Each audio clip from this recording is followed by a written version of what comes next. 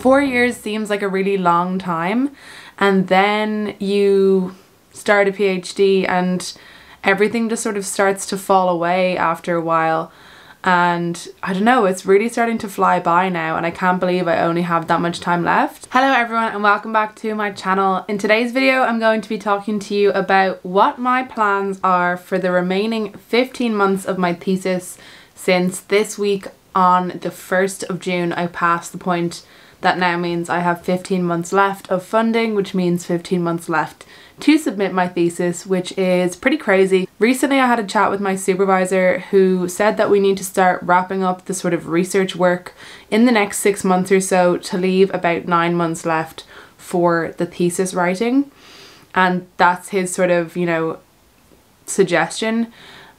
Obviously, everyone can do it a bit differently, but he has had a lot of very successful PhD students, so I do try and take my supervisor's advice as much as possible. So I just wanted to go through some of his advice in this video, and I thought it might be helpful for anyone who either is thinking about doing a PhD and is wondering what will the whole thesis process look like, especially if you're doing a computer science PhD like me, but then also I think for anybody who is getting into this stage that I'm getting into and maybe doesn't have the supervisor that will have this chat with them. So I really hope that it will be helpful. If you're new here, my name is Ciara. I'm a third year PhD student in machine learning or computer science based in Dublin, Ireland. And this channel is all about being productive while doing a PhD. Today I wanted to go through my plan for the next six or seven months of research as well as for my thesis, so my actual outline of my thesis. I am going to be including some clips from my Notion template. This clips you see today are all new and I'll be doing a new video soon about the updated thesis part of the template since I'm actually getting into the sort of thesis stage. As I go through different parts of the PhD, I do think the template sort of just naturally changes and it develops with what I'm doing. And anyone who's currently bought the template will receive an update email who that'll just sort of explain what is the updates and where to get them so you don't have to go and buy it or anything. And then I'm going to be releasing a separate thesis template for anybody who's interested in just this and not necessarily the productivity stuff. That'll be in a new video coming sometime next week so if you want to see that make sure you subscribe and hit the notification bell so that you know when that video is up. So let's talk really quickly about what my sort of thesis is generally about. So what is my research about? That's sort of an important point for this video to understand. So I'm doing a PhD in machine learning, which is a branch of computer science that focuses on training models basically to learn how to do things. And the specific work that I'm involved in is machine learning applications in sports science or exercise science, particularly for marathon runners and I analyze data from a popular running app called Strava. So I have a lot of training data from Strava and I analyze that essentially to gain insights about marathon training and performance and I try and put those into some sort of model that can help predict performance or recommend training to improve performance and that's sort of what my whole thesis is around so it's largely about working with this really complex data and you know, developing a suite of skills or a suite of techniques to go along with this type of data that could then be used, I suppose, in other similar areas. And it's quite a difficult data set to work with because it's a lot of time series. And, you know, each individual running session will have 100 meter intervals tracked for their distance, their time, their pace, their elevation, their heart rate and that's just for one session and each runner will have like hundreds of sessions. So it's how do we take all of this and put it into something that can then be used for modeling which then can be used for prediction and everything like that. In terms of the work that's been done so far so in my first year we sort of I got thrown straight in the deep end by my supervisor, which was really helpful. We worked on a project around predicting race times based on the runners' training. And We had about 20,000 runners, I think, so I looked at their 16 weeks of training data and I tried to extract some training related features and build some models. And we submitted that work to a conference and that was accepted. And there was also a little bit of work on training recommendations in that. So if you're trying to improve your time, what does the next week of training look like? And if you're trying to you know, go take things a bit easier, what would that look like? And we then extended that work a little bit for a conference called RecSys and submitted a work there. So in first year, pretty much in my sort of first six months, because we already had this data set, and this was a fairly clean data set that I was working with, Um, I ended up having two first author conference publications in first year, and then pandemic hit. Things started to take a bit of a turn, and I started working on like sort of different areas. So we then started working on training disruptions, so looking at breaks in training and how that might affect marathon performance. And that's something that I've been working on for a really long time. We've had a lot of sort of mini projects. Um, so more so in second year and third year, this is the part that I was working on. We've had some other sort of related works there in the last year or so coming out. We've just submitted another paper for a journal related to that. Within that time frame that I was looking at that, we started working with a much larger data set, which was like all the raw data. So I needed to learn basically new skills to work with that because it went from um, like 20,000 runners to like a couple million runners and like tens of millions of sessions. So I needed to learn how to work with that bigger data set, how to like extract and clean and all of that. So that was a big part of the work. And then then returning and sort of rerunning some of the work we had done with this larger data set.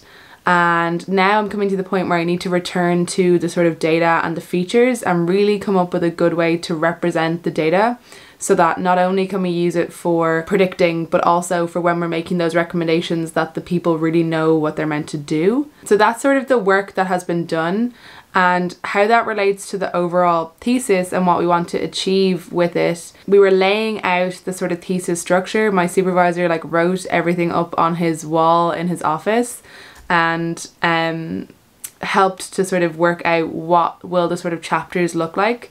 And I sort of had a sense of this in my head, a similar sense, but we, because of the work that I do, a lot of people's thesis might look quite different. You might end up having, you know, introduction related work, methods, results, conclusions, sort of. Whereas because I have a lot of sort of mini projects and within that, methods and results, like separately, this could sometimes be the case where you have um, an introduction related work and then you have individual chapters for each experiment, I guess.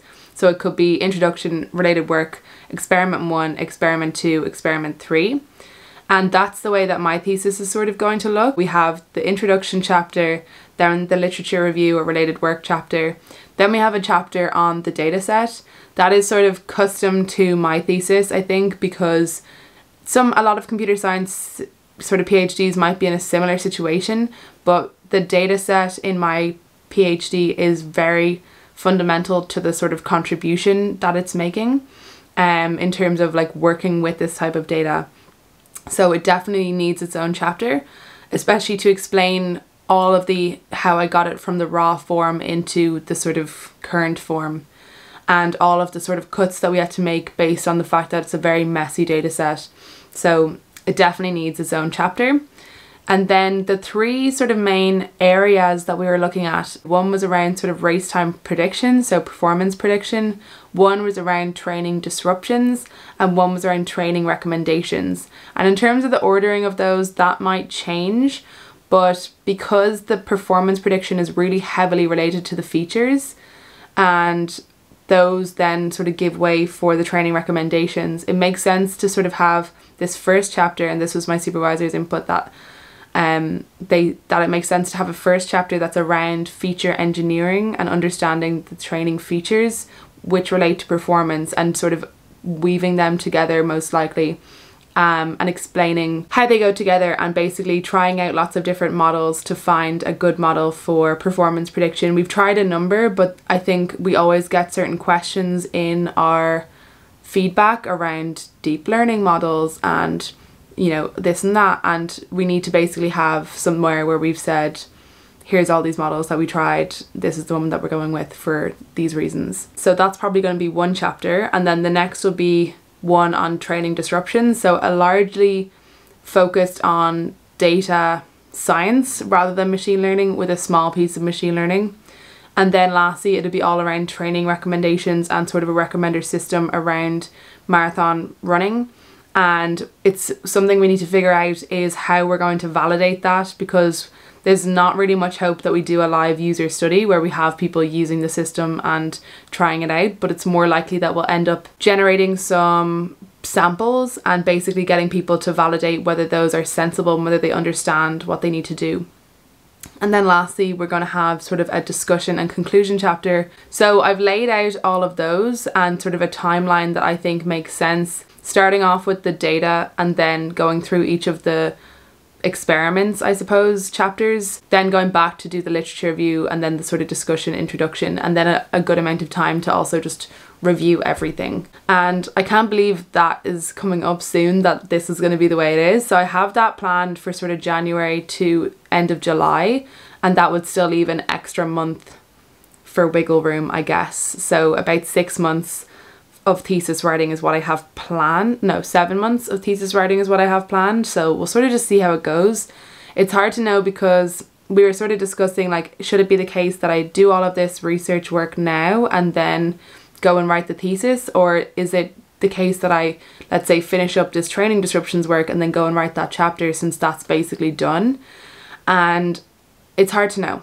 Um, I've started writing bits and I sort of think like writing up notes and bits is the best thing that I can do and then go back and just write it properly because we're still going to be making some changes to the data set over time and it's just if I write it all now it means I'm going to have to at some point probably rerun some of the models and get different results and then have to go back and change things and change graphs and I think I'd rather just wait and do all of that at a later date. In terms of then the sort of what we need to do to get to that point where we can write all of that, I don't know I'm saying we, I have to write it, what I need to do to do to get to that point basically there are a number of projects that I have planned. So this is sort of what I'm going to be working on in the summer and then also in the autumn term. But I'm trying to get a lot of it done in the summer because I know this is the time that I'm more free because I don't have you know university classes. I have less teaching hours with the drama school and I can just really try and get through as much of this as possible and just try and focus on that because in the autumn term it will be busier. And I also am going away in the autumn whereas I'm not really going away in the summer. So it just gives me a lot of time. The first thing is that we just submitted and got a paper accepted to a conference and I need to just finish up the camera ready copy. So I have that as one of the things that I need to work on. And then the next thing is that we're going to be working on a little piece around the training disruptions. So just an extra little bit that might turn into its own paper um, and that I have planned for this month of June. So I want to get all of that done this month, which means I need to basically get the analysis done next week, decide if we want to publish it, and then spend a little bit of time working on the publication there. The publication for the last version of this took months, so I think I'm probably being a little bit unrealistic with that timeline, but we will see. The next thing then will be going back to the data set and doing that sort of feature engineering and really trying to make sure we get to a point where we're really happy with the representation that we have. We're very lucky insofar as compared to sort of sports science world where you're sort of limited by the features that were collected, we have a large amount that you could glean from the data. It's just about, you know, the creativity of coming up with the right features and that's basically a quite important part of my thesis is that and it's because we use as well like those types of methods where the and the feature engineering is a really important piece. Largely in machine learning altogether feature engineering is one of the most important things. Um so that is something that we're going to be working on in the summer for July and then that'll lead into a new performance prediction paper that I don't know if it's going to end up in a sort of an AI or a sports science context but going back to sort of the traditional sports science approach to marathon prediction and then trying out all these different sort of machine learning techniques and trying to have a really good comparison of those um essentially then I'm not sure if this is what will happen next. I'm not sure because I didn't really talk to my supervisor about this, but this is something that I'd like to do, which would be going into taking that sort of representation of training and then doing some like user evaluation of do people understand this? Because you know whatever the way current training plan recommendations look how does this training plan look and can people follow this? Um basically. And then that'll lead into more work on sort of training recommendations because we need to go back and do a bigger recommenders system sort of project and that's sort of two pieces one around sort of explainability and then one around just sort of bringing everything together. And so each of those I have for about a month so the feature the training disruption work is this month, feature engineering the following month, uh, marathon prediction the following month, user study the following month, uh, training recommendations and the full recommender system will just be for like October, November, December, probably about six weeks each. And that's the next sort of seven months basically planned out, which is pretty crazy. So that is my plan for the summer and for the next 12 months after that, which is the entire time I have left for my PhD. So it's going to be really interesting to see how well I stick to this. Um, I'm not going to like beat myself up if I don't, but I think it does really help to have a plan and to have a sense of where things are going. I think it can really add a sense of clarity to what you need to do and especially some of these projects I know are going to be a bit tedious but I know that if I have this layout and there's parts of these projects that I'm really excited to do that having the next set like section ahead of me is going to be what motivates me to get through what I'm doing first if that makes sense. If you want to see more of the process of thesis writing and everything like that I'm going to try and take you along as much as possible but I'd love to know like what you want to see in that way and what you find helpful. Um, so yeah, thanks so much for watching. Thanks to all of my wonderful members. I will have that thesis Notion template video coming sometime next week, so make sure to subscribe and hit the notification bell so that you don't miss that and I will see you all in the next video.